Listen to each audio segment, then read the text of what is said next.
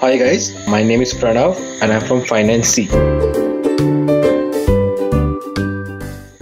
During my free time, I like to watch movies and web series or play FIFA.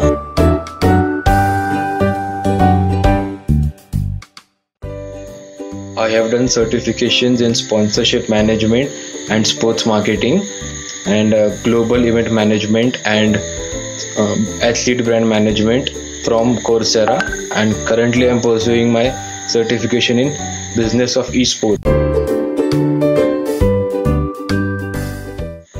My plans post lockdown is to meet my friends and probably play a game of football.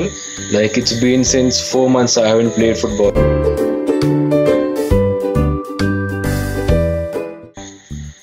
Have done my summer internship in Diligence Fitness LLP where my task was to do a market research and propose a business development plan and during this internship I got to learn learn about organizing and executing social media campaigns.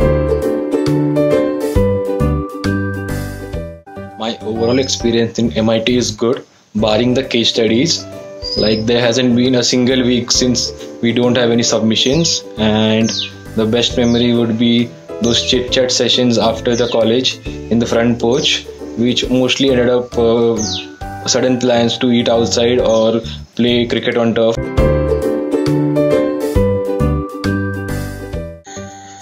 advice to juniors is that despite the hectic schedule due to trimester pattern don't be afraid to make mistakes. As faculties are always there to help you out and most importantly work on yourself and enjoy these two years